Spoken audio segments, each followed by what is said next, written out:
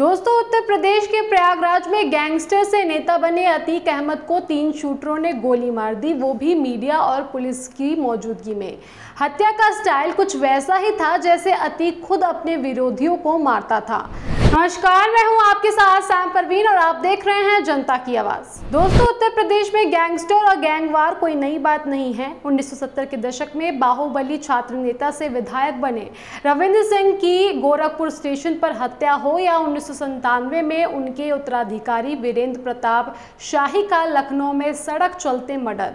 उत्तर प्रदेश और खास तौर पर पूर्वांचल में हर गली में गैंगस्टर शूटर आम है।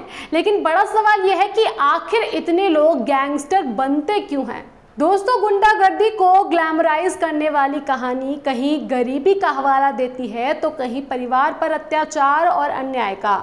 इन वजहों से कोई व्यक्ति बदला लेने के लिए एक खून तो कर सकता है, मगर ऐसा क्या है जो उसे गैंगस्टर बनाए रखता है? तो इसका जवाब है दोस्तों, पैसा। लेकिन दबंगई से ज़मीन कब्जाने सेटलमेंट और रंगदारी से मिलने वाले पैसे से कहीं बड़ा एक सरकारी सिस्टम भी है, जो खास तौर पर यूपी में गैंगस्टर्स को लुभाता है। जी हाँ दोस्तों गैंगस्टर्स को बाहुबल के साथ धनबल के शिखर पर ले जाने वाला ये सिस्टम है सरकारी टेंडर दोस्तों, सड़क बनाने से लेकर बालू निकालने तक या मछली पालने से लेकर रेलवे स्क्रैप तक हर काम का ठेका जारी होता है। यूपी में बाहुबली की ताकत इसी से आकी जाती है कि उसके इलाके में कितने टेंडर उसकी मर्ज़ी से खुलते हैं, यानी कितने ठेके उसके चहेतों को मिलते हैं। आज़ादी के छिहत्तर साल में ये ठेके सरकारी दफ्तरों से निकलकर ऑनलाइन तो हो गए हैं, मगर सरकारें इनको अपराधियों और गैंगस्टर से मुक्त नहीं करा पाई। दोस्तों, देश में कोई भी काम करवाने के लिए केंद्र और राज्य सरकारें निजी कंपनियों को ठेका देती है। काम चाहे कोई भी हो, उसके लिए उस फ़ील्ड से जुड़ी कंपनियों से टेंडर आमंत्रित किए जाते हैं। कंपनियाँ अपने हिसाब से उस काम की लागत पूरा करने का समय और बाकी ब्यौरा टेंडर में देती है।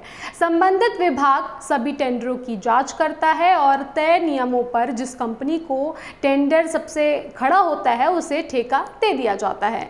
नब्बे के दशक से सरकार ने ज़्यादातर ठेके ई टेंडर के ज़रिए देना शुरू कर दिए। इसके लिए सरकार ने ऑनलाइन प्रोक्योरमेंट पोर्टल बनाया। साल 2020 से 21 में इस पोर्टल के ज़रिए सरकार ने कुल 17 लाख करोड़ रुपए के ई टेंडर जारी किए। दोस्तों, आज़ादी के पहले से सरकारें निर्माण से लेकर खनन के सारे काम ठेके पर होते आए हैं। आज भी हर तरह से सरकारी खरीद, खनन और निर्माण ठेके पर ही होते हैं। ये ठेके किसे दिए जाएँगे और कैसे दिए जाएँगे, ये पूरी प्रक्रिया शुरू से ही भ्रष्टाचार के घेरे में रही है।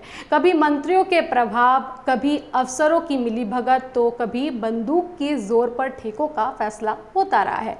एक बार ठेका हाथ में आने के बाद सरकारी खजाने से पूरा पैसा निकाल लिया जाता है, मगर सिर्फ़ खर्च जो होता है वो सिर्फ़ मात्र एक प्रतिशत, वो भी मुश्किल से। दोस्तों, सरकार ने ठेका प्रक्रिया में इस तरह की धांधली को दूर करने के लिए ही ई टेंडर प्रक्रिया शुरू की थी, लेकिन अब ठेकों में रुचि रखने वाले अपराधी भी इतने शातिर और हाईटेक हो गए हैं कि उनकी कंपनियाँ भी ऑनलाइन टेंडर भरती है। उनका आतंक अब इसी बात में माना जाता है कि या तो उनके इलाके में उनकी ही कंपनियाँ ऑनलाइन टेंडर भरती है, या टेंडर भरने वाली कंपनी, जो कोई भी कंपनी होती है, जो जब उसको काम मिलता है तो अपराधियों को उसका परसेंटेज चुपचाप देना पड़ता है, चुकाना पड़ता है।